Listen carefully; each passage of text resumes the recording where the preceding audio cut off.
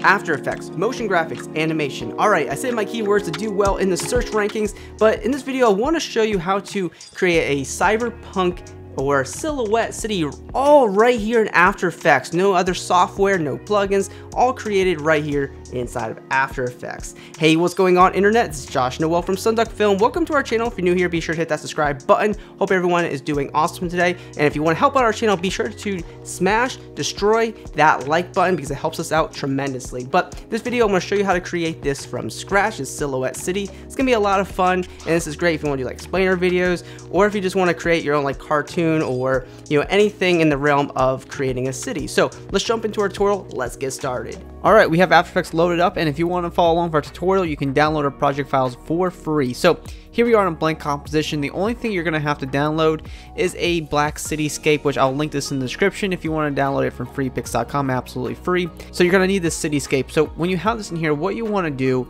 is come here and grab the rectangle tool and just mask out, you know, one of the cityscapes like this. And what we'll do is we'll click on this continuously rasterize icon and we'll hit S on keyboard for scale and we'll scale this up. And of course we, we will position this downward and we want to kind of put this somewhere in the middle of our composition. And one thing I would do is go to effect, generate, and grab fill and set it to black. Okay, so now let's go ahead and create the sun that we see here. Really easy to do this. So come here, grab the ellipse tool, and we'll change our fill color to something nice and warm, maybe nice and orange there. And we'll draw out a perfect circle by holding down shift on our keyboard like this. Okay, awesome.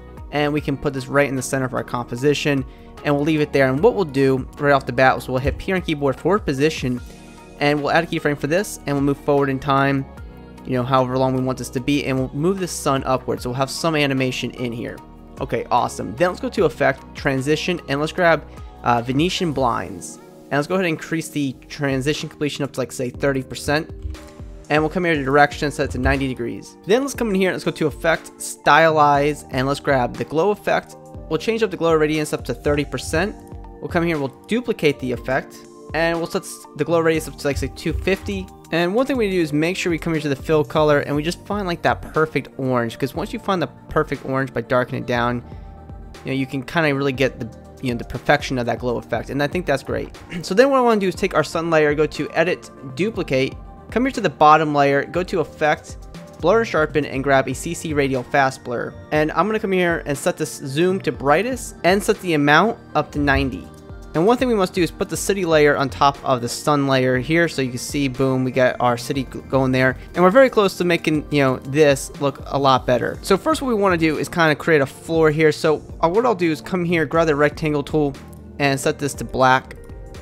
And I'm just to draw out a rectangle to create a floor right beneath our city layer. And I'll put this right below the city layer. So let's go ahead and start to illuminate the scene a little bit more with a little bit of fog here. Really easy to do this. So let's go ahead and create a new solid here call it fog. And we'll go to effect noise and grain and we'll add fractal noise. So I don't love using fractal noise, but it's just an incredibly powerful effect. So we're not gonna do much here, but what we're gonna do is come here to the brightness and we'll set this down just by a little bit. And we'll come here to the transform settings, come here to scale and we'll set this up to like maybe 620. and then come to the complexity and set this up to 19. Look at that, beautiful. And then let's come here to evolution, alt click the stopwatch and type in time asterisk 200 and that will allow us to animate this layer. Alright, so toggle switch the modes and set the blend mode for this layer to screen so we can see through this. Let's go ahead and make sure this layer is right above our sun layers right here. Beautiful. Then let's come here to effect, color correction, curves. So what we'll do is bring down our curves here by a little bit, so we'll darken this down. Go to the red channel, we'll go ahead and bring this up. Go to the green channel, maybe we'll bring this down, and then go to the blue channel, last one, and we'll bring this down as well to kind of punch out these orangey tones. So go ahead and play with those to match the color of your sun. Alright, and one thing I want to do is come here and grab the ellipse tool and just kind of create a mask from the center of our sun here going outward like that. I think that's fine. And then you hit F on your keyboard for mask feather and just feather this out. So we'll kind of have like this sun fog, if you will. And I want to duplicate our fog effect. And I'm going to come back here to the transform settings and come here to scale and set this down to maybe like 150. Alright, so let's go ahead and fill this out and create some stars. Go to layer, new solid. Make sure that solid is set to a white solid, and call it stars. Now let's come here to effect simulation and we're gonna grab CC star burst and I don't mean the candy.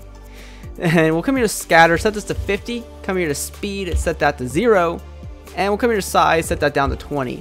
And we'll go ahead and make sure that this layer is right underneath our floor layer. And behind that. So boom, now we got some stars in here. And one thing you're want to do is probably add some animation to this. So what I'm to do is hit R on keyboard for rotation, alt click the stopwatch and type in time asterisk 1. And I'll just hit S on keyboard for scale and kind of scale this up by a little bit. So now we're to have a very slight animation here. And believe it or not, we're almost done. You know, it feels like it's to be a, big difference for what we're about to do here to really bring this to the next level. But it's really easy to do what we're about to do. And of course, since we don't do sponsors on this channel, I want to give a huge shout out to our 1400 plus motion graphics professionals pack right here for After Effects. So this is our Motion Graphics Professionals pack where we have over 1400 templates in it. One of the categories we have here are title templates. And how this works, we preview a title template and we click on apply and it automatically applies a full title animation to any project that we're working on. And we can go into that composition and we can change out our title to say whatever we need it to say. And we can easily change the colors with a click of a button and our title will update in our main composition. And also in this pack we have a handful of other different types of objects and templates that you can use, but one of our categories are effects, and if we want to be able to add say a glitch effect to this entire composition, we come here to our glitch category, we apply effect, and now boom, we have a full glitch effect within a few clicks of a button to our entire composition that we didn't have to create. We have a handful of other elements in here like transitions, and we also have 600 animated promos in this pack. So if you're looking to save time while of course producing awesome work, you can take a look at any of the packs we have off our website. I will link them below. If you do pick up anything, you will be supporting our channel, so thank you very much. Alright, so now we just have to finish the floor here and we're to be looking good. So first thing we're to do is create a new solid and what we're going to do is make sure the width and height are like 5,000 by 3,000. I know that's crazy, but for the grid, we need it to be like that. And make sure the color is white. Click OK. come here to Effect, Generate, and we'll grab the Grid Effect. Come here to Corner Point, set that to Width and Height sliders. Set the width to 150, and of course, the height to 150. And what we're going to do is, if you want, you can animate the anchor here, which will animate the grid. Um, that's completely up to you, but you see that'll move over, a little bit animation there. You can make this layer a 3D layer and hit R on keyboard for rotation. Come here to X rotation, set that to 90 degrees. And we'll hit P on keyboard for position, and we'll Y position this downward like that. Beautiful. So now you have a little bit animation here, but we want to have this fade in with our black city here, you know. So to do that, what I'm going to do is something kind of simple. We're going to create a new solid, click on make comp size, and change the color to black. Click OK. And what I'm going to do is take the solid and just bring it right below the city here. And then I'm going to grab the rectangle tool and I'm going to come here and simply just create a mask like this and hit F on keyboard for mask feather and really feather this out. And I can widen out the mask by grabbing the two bottom points here and just stretching that out. And that'll fade it a lot better. And we'll come here to our grid color and we can change this to kind of match our scene here. Beautiful. All right, so now what I want to do is take our floor layer and bring it to the bottom. It's a little bit counterintuitive with what we're about to do because you can see the stars here.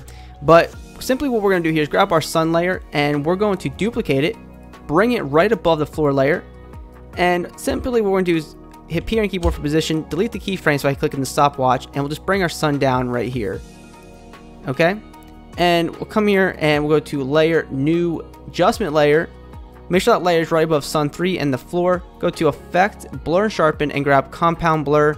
Set the maximum blur to 160 and check on Invert Blur. Go to the blur layer and set that to the floor layer. Alright, and one thing we absolutely do, need to do is get rid of these stars. So what we're going to do is take our star layer and we're going to go do Layer, Pre-Compose, Move all attributes to new composition, click OK. Grab the rectangle tool and just create a mask to mask out the bottom stars there. Alright, so to tie this together to really make this look like this, what we're going to do is go to layer, new adjustment layer, and we'll put the adjustment layer right above the fog layer, and we'll come here to effect, color correction, curves, and we'll come here to red channel, and we'll kind of create this little reverse S curve here to really brighten that up. Go to the green channel, we'll bring this down by a little bit, and come here to the blue channel and bring this down as well. That'll really glow out the scene there. And let's go ahead and create another adjustment layer. Make sure that that's at the top. Go to Effect, Noise and Grain, and add noise. Set that to 16%, uncheck use color noise. And that's just going to do a great job to the scene. And also to kind of pop this out a little bit more, we'll come here to the fog layers, grab both of them, hit M on your keyboard twice, and you can increase the mask expansion up to say 200 for both of them. That'll help put the finishing touches on your cyberpunk or really silhouette city. So that is our tutorial on creating this really cool cyberpunk silhouette, whatever you want to call it, city. Hopefully now you have a handful of awesome techniques to help you produce your very own work. If you did enjoy this video, be sure to hit that subscribe button because we post multiple post-production tutorials every single week right here on the channel. You can also hit me up on my social media networks. Those links are below and always be creating.